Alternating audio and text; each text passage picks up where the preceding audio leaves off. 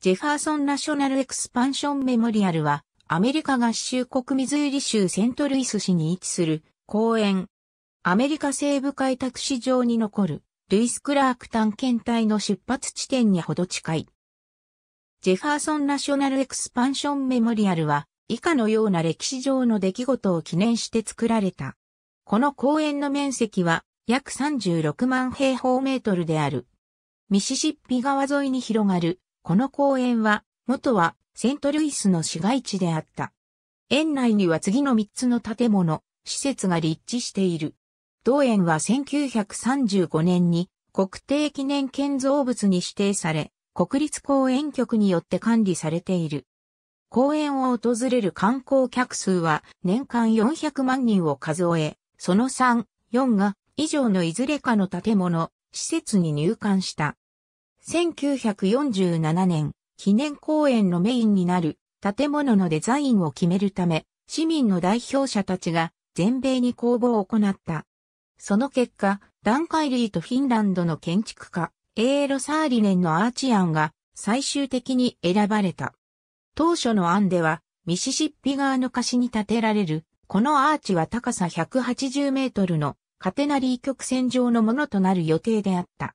しかしその後15年にわたる計画の見直しでアーチの高さと幅はそれぞれ12メートルずつ高く広くなった。イーストセントルイス市より望むゲートウェイアーチ。手前の噴水はゲートウェイガイザー。サーリネンの案が選ばれた時、最初は父のエリエル・サーリネンが受賞したと告げられた。サーリネン一家はシャンパンを開けてエリエルの受賞祝いを始めた。その2時間後、主催者は受賞したのは、息子のエーロの方であると告げた。エリエルは2本目のシャンパンを開け、息子の成功を祝った。サーリネンは、構造家、ハンスカール・バンデルの助力を得て、アーチの設計を進めていった。設計においてサーリネンは、アーチを単純な逆カテナリー曲線ではなく、頂点に向かうほど、細長く伸び、厚みが薄くなっていくというものにした。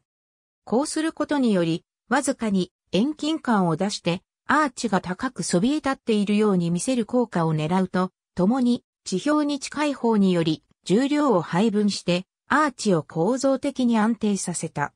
しかしサーリネンは1961年、脳腫瘍によりアーチの完成を待たずして、息を引き取った。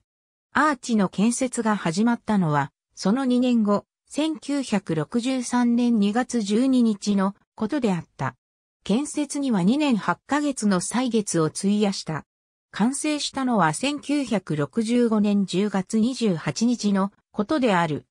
アーチの頂点が完成した日は異常に暑く、市の消防車がホースで水をかけて南側の足を冷却していたため、式典が遅れたというハプニングもあった。翌1966年10月15日には、アーチを含む公園全体が国の史跡に指定された。1968年5月25日、副大統領、ヒューバート・ H・ ハンフリーと内務長官、スチュワート・ユードールによってアーチは公開された。1984年、アメリカ合衆国議会は公園の拡張を認める法案を通した。その中には、ミシシッピ川の対岸、イリノイ州イーストセントルイスの約40万平方メートルに及ぶ土地も含まれていた。用地買収のための資金集めも行われた。しかし、議会は1998年度に国立公園局の用地買収に対しモラトリアムを実行した。21世紀に入ってもモラトリアムは継続している。一方、イーストセントルイスではミシシッピ川に浮かぶカジノ船やその関連施設ができたことから公園の拡張はあまり望めなくなってきている。1999年、約220万ドルの費用を投じ、アーチのトラムを新型のものに変えた。ゲートウェイアーチビジターセンター入り口頂部の内部サーリネンによって設計された、このアーチの高さは192メートル、最大幅は192メートルである。セントルイスでは最も高い建築物で、ミズーリ州全体でもカンザスシティのワンカンザスシティプレイスに次いで2番目の高さである。断面は正三角形になっている。一辺の幅はアーチ脚部で16.5メートル、頂点で5.2メートルである。三面の側壁は鉄筋コンクリート造りで、高さ91メートル地点まではステンレス鋼板で、それより上では炭素鋼板で覆われている。内部は中空になっており、展望台へのトラムと非常階段が備えられている。サーリネンは存命中、アーチの頂点に達する手段として1000段を超える階段を登らせずに済むよう内部にトラムを設置する計画を立てていた。しかしその形状から通常のエレベーターを設置することは不可能であった。数社のエレベーター会社が発案を試みたが、いずれも失敗した。そこでサーリネンは大学を中退したエレベーターデザイナー、リチャード・バウザーを雇い、トラムを設計させた。与えられた期間はたったの2週間であったが、バウザーは見事にデザインを描き上げた。観覧車のゴンドラにも似た、このエレベーターケーブルとジンバルのついた乗りかごを組み合わせたトラムシステムは1968年に設置された。このトラムは南北1機ずつ設置されており、アーチの地下にあるビジターセンターのトラム乗り場から乗ることができる。北側の乗り場には、アーチの設計、建設に関する資料が、南側の乗り場には19世紀中盤のセントルイスのミシシッピ川岸の様子がそれぞれ展示されている。トラムのコンパートメントの内部ドアは通常のエレベーターと同様のものである。内部は円柱状のコンパートメントになっており、5席が備えられている。その形状から天井はドーム状の曲線になっているため、座高の高い乗客は少し窮屈な体勢を取らざるを得なくなる。このようなコンパートメント発出が列車、もしくは数珠のようにつながっている。したがってトラム1機につき40人、合計80人の輸送能力を有することになる。各々のコンパートメントは観覧車のゴンドラのように、トラムがアーチのどの部分に差し掛かっても常に水平を保つようになっている。上りには約4分、下りには約3分を要する。ドアには小窓がついており、乗客がアーチの内部を見ることができる。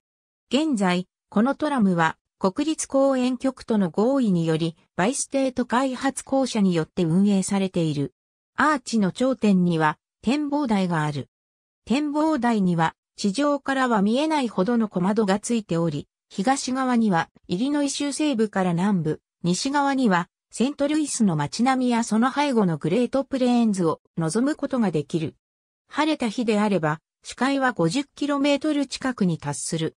アーチの地下にはビジターセンターがあり、いずれかのアーチの足から入ることができる。ビジターセンターの内部には西部開拓博物館がある。西部開拓博物館はセントルイスのミシシッピ川岸や西部開拓の歴史に関する次のような資料を展示している。館内のタッカーシアターは1968年に完成し、1998年に改装されたもので285席を有し、モニュメント・トゥ・ザ・ドリームというタイトルのアーチの建設に関するドキュメンタリー映画を放映している。1993年に完成し、255席を有するオデッセイシアターは国立公園局の管轄地内では、初の 70mm フィルムの劇場である。同劇場では、様々な内容の映画が、スケジュールに基づいて放送される。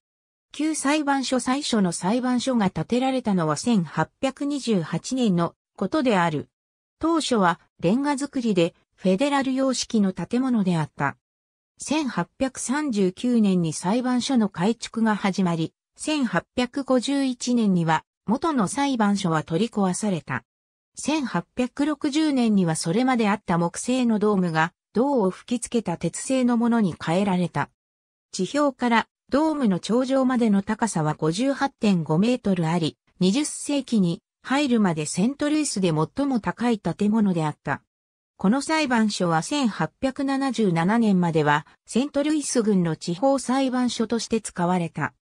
1877年にセントルイス市がセントルイス郡と分割して独立市になると以後1930年まではセントルイス市の地方裁判所になった。また、1856年から1876年までは裁判所の南島がミズーリ州の最高裁判所として使われていた。旧裁判所は歴史的な二つの裁判で特に知られている。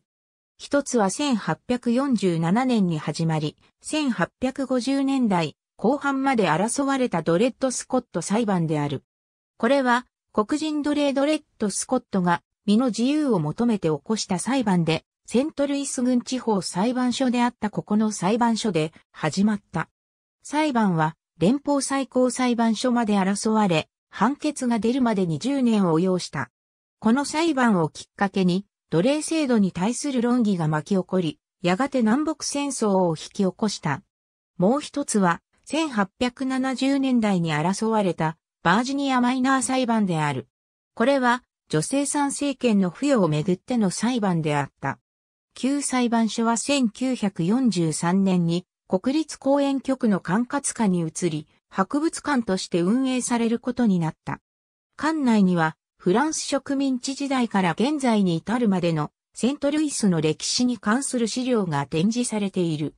歴史上特に重要な出来事に関しては、1940年代から1950年代にかけて国立公園局によって制作された6つのジオラマが展示されている。ありがとうございます。